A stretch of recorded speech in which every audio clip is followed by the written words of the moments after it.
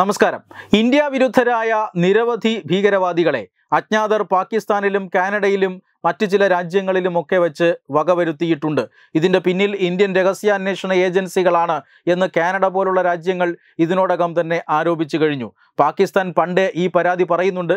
പക്ഷേ ആരും ചെവിക്കൊള്ളുന്നില്ല എന്ന് മാത്രം. പക്ഷേ ഇന്ത്യക്കുള്ളിൽ വലിയ വലിയ ഭീകര പ്രവർത്തനങ്ങൾ ചെയ്യുകയും ആയിരക്കണക്കിന് നിരപരാധികളുടെ ജീവൻ എടുക്കുകയും ഒക്കെ ചെയ്ത ആക്രമണങ്ങൾക്ക് പിന്നിൽ പ്രവർത്തിച്ച ഭീകരന്മാരെല്ലാം ഇപ്പോൾ ഏതാണ്ട് വലിയൊരു വിഭാഗം അവരിൽ അജ്ഞാതരുടെ തോക്കിന് ഇരയായിട്ടുണ്ട്. ഹഫീസ് സയ്യിദ് ഇന്ത്യ തേടുന്ന ഏറ്റവും കുപ്രസിദ്ധനായ ഒരു ഭീകരവാദിയാണ്. ഹഫീസ് സയ്യിദിന് അഭയം കൊടുത്തിരിക്കുന്നത് പാകിസ്ഥാനാണ്. മുംബൈ ഭീകരാക്രമണം അടക്കമുള്ള പ്രമാദമായ കേസുകളിലെ സൂത്രധാരനാണ് മുഖ്യ സൂത്രധാരനാണ് ഈ ഹഫീസ് സയ്യിദ്. കോടികൾ ഇയാളുടെ തലയ്ക്ക് വിട വിലയിട്ടിട്ടുണ്ട് ഇന്ത്യയും അമേരിക്കയും ഐക്യരാഷ്ട്ര സംഘടനയും എല്ലാം. അങ്ങനെയുള്ള ഈ ഹഫീസ് സയ്യിദിന് വലിയൊരു ഭീകര നെറ്റ്വർക്ക് തന്നെ പാകിസ്ഥാനിലുണ്ട്. അത്തരത്തിലുള്ള ഹഫീസ് സയ്യിദിന്റെ നെറ്റ്വർക്കിൽപ്പെട്ട ഇരുപത് അംഗങ്ങളെ അജ്ഞാതർ വകവരുത്തി ബലൂചിസ്ഥാനിൽ വെച്ച് എന്ന വാർത്തയാണ് ഇപ്പോൾ പുറത്തു വരുന്നത് അതായത് ഒന്നോ രണ്ടോ ഭീകരരെയൊക്കെ ഒറ്റയടിക്ക് വധിച്ചിട്ടുള്ള അജ്ഞാതൻ ഇപ്പോൾ ഇരുപത് പേരെയൊക്കെ ഒറ്റയടിക്ക് കൊല്ലാനുള്ള നിലയിലേക്ക് വളർന്നിരിക്കുന്നു എന്ന വാർത്തയാണ് വരുന്നത്. ബലൂചിസ്ഥാൻ കഴിഞ്ഞ കുറേ ദിവസമായി സംഘർഷഭരിതമാണ് എന്ന് നമുക്കറിയാം. പാകിസ്ഥാനെ വല്ലാതെ വെള്ളം കുടിപ്പിക്കുകയാണ് ബലൂചിസ്ഥാനിലെ ബലൂജ് ലിബറേഷൻ ആർമി പോലുള്ള സംഘടനകൾ. തീർച്ചയായും അവിടെ ചൈന വലിയ രീതിയിലുള്ള ചില നിർമ്മാണ പ്രവർത്തനങ്ങൾ നടത്തുന്നുണ്ട്. ചൈനയും പാകിസ്ഥാനും ഉൾപ്പെടുന്ന ഒരു road belt belt and road പദ്ധതിയുടെ ഭാഗമായി അതുപോലെ തന്നെ ചില തുറമുഖ പദ്ധതികൾ അതോടൊപ്പം തന്നെ വൈദ്യുതി നിലയങ്ങൾ ഇതൊക്കെ ചൈന ഈ പ്രദേശങ്ങളിൽ നിർമ്മിക്കുന്നുണ്ട്. എന്നാൽ ബലൂചിസ്ഥാനികളുടെ പരാതി ബലൂചിസ്ഥാൻ മേഖലയിൽ ധാതു ലവണങ്ങൾ കൊണ്ട് സമ്പുഷ്ടമായ മേഖലയാണ്. ഇവിടുത്തെ ധാതു ലവണങ്ങളെല്ലാം പാകിസ്ഥാൻ സർക്കാരും ചൈനയും ചേർന്ന് കൊള്ളയടിക്കുന്നുണ്ട്. പക്ഷേ ബലൂചിസ്ഥാനികൾക്ക് വേണ്ടത്ര വികസനമോ മറ്റോ കാര്യങ്ങളോ എത്തിക്കുന്നതിൽ പാകിസ്ഥാൻ സർക്കാർ വലിയ പരാജയമാണ്. അതുകൊണ്ടാണ് ബലൂചിസ്ഥാനിലെ ജനങ്ങൾ പാകിസ്ഥാൻ സർക്കാരിനെതിരെ ആയുധമെടുക്കുന്നത്. ഇപ്പോൾ ചൈനയുടെ ഇത്തരത്തിലുള്ള നിർമ്മാണ പ്രവർത്തനങ്ങൾക്ക് വലിയ രീതിയിലുള്ള പ്രതിഷേധം ബലൂചിസ്ഥാനിൽ നിന്ന് ഉണ്ടാകുന്നുണ്ട്.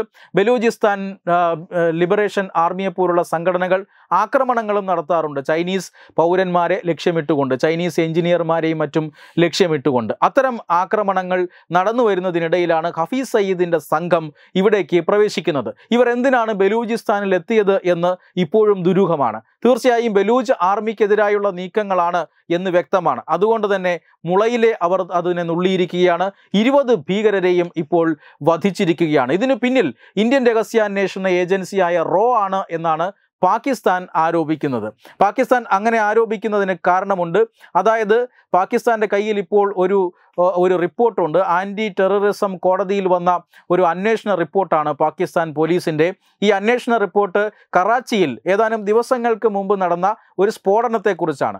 ആ സ്ഫോടനം ഒരു ആത്മഹത്യാ സ്ക്വാഡ് നടത്തിയ സ്ഫോടനമായിരുന്നു. സ്ഫോടനത്തിലൂടെ ലക്ഷ്യമിട്ടത് രണ്ട് ചൈനീസ് എഞ്ചിനീയർമാരായിരുന്നു. പക്ഷേ രണ്ട് ചൈനീസ് പൗരന്മാർ ഉൾപ്പെടെ മൂന്ന് പേരാണ് അവിടെ ആ സ്ഫോടനത്തിൽ മരണമടഞ്ഞത്. ഈ സ്ഫോടനം ആസൂത്രണം ചെയ്തിരിക്കുന്നത് അല്ലെങ്കിൽ ഈ സ്ഫോടനം നടപ്പിലാക്കിയിരിക്കുന്നത് ബലൂജ് ലിബറേഷൻ ആർമിയാണ് എങ്കിലും ഇതിന്റെ ആസൂത്രണത്തിന്റെ പിന്നിൽ ഒരു വിദേശ രഹസ്യാന്വേഷണ ഏജൻസിയാണ് എന്ന് പാകിസ്ഥാൻ പോലീസ് കോടതിക്ക് റിപ്പോർട്ട് നൽകിയിട്ടുണ്ട്.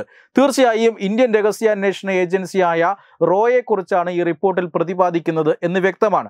അതായത് പാകിസ്ഥാൻ ആരോപിക്കുന്നത് ഇത്തരത്തിലുള്ള ബലൂചിസ്ഥാനിൽ നടക്കുന്ന ആക്രമണങ്ങൾ ഭീകരാക്രമണങ്ങളും സ്ഫോടനങ്ങൾക്കും പിന്നിലെല്ലാം ഇന്ത്യയാണ് എന്നാണ്. അതുകൊണ്ട് തന്നെ ഇപ്പോൾ ഈ ഇരുപത് പേരെ വധിച്ചതിന് പിന്നിലും ഇന്ത്യൻ രഹസ്യാന്വേഷണ ഏജൻസിയായ റോ ആണ് എന്നാണ് പാകിസ്ഥാൻ മാധ്യമങ്ങളും പാകിസ്ഥാൻ പ്രാദേശിക ഭരണകൂടങ്ങളും എല്ലാം അവകാശപ്പെടുന്നത്. അത്തരത്തിലുള്ള ആരോപണം ഉന്നയിക്കുകയുമാണ് അവർ. എന്തായാലും ഇന്ത്യക്കെതിരെ ദീർഘകാലം ഭീകരവാദത്തെ ഉപയോഗിച്ച രാഷ്ട്രമാണ് പാകിസ്ഥാൻ. ഇപ്പോൾ ഭീകരവാദം അവരെ തിരിഞ്ഞുകൊത്തുന്നു എന്നുള്ളതാണ് വാസ്തവം. നേരെ മറിച്ച് മാത്രമല്ല ബലൂചിസ്ഥാൻ പോലുള്ള മേഖലകളിൽ വിഘടനവാദവും വിമത ശബ്ദവും ഉയരുന്നതിന് പിന്നിൽ പാക് ഭരണകൂടത്തിലും പാക് പട്ടാളത്തിലുമുള്ള വമ്പന്മാരുടെ അഴിമതിയും ദുർഭരണവുമാണ് എന്ന് വ്യക്തമാണ്. പക്ഷേ ഇതിനെല്ലാം ഇപ്പോൾ ഇന്ത്യൻ രഹസ്യാന്വേഷണ ഏജൻസികളെ തെറി പറയുകയാണ് പാകിസ്ഥാൻ. എന്തായാലും ബലൂചിസ്ഥാൻ ഇപ്പോൾ അശാന്തമാണ്. ബലൂചിസ്ഥാനിലെ ജനങ്ങൾ ബലൂച്ച് ആർമിയുടെ സഹായത്തോടു ഇതോടുകൂടി പാകിസ്ഥാൻ സർക്കാരിനെതിരെ വലിയ വിപ്ലവം നടത്തുന്നുണ്ട്.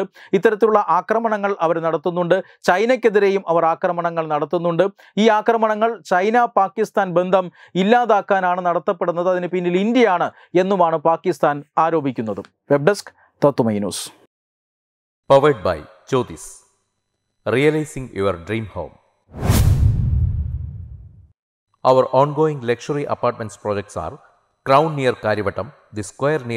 apartments projects are Crown near Karivattam, The Square near UST Global, White Manor near Achigal Ambalatra, and Evergreens Luxury Villas near Tirumala.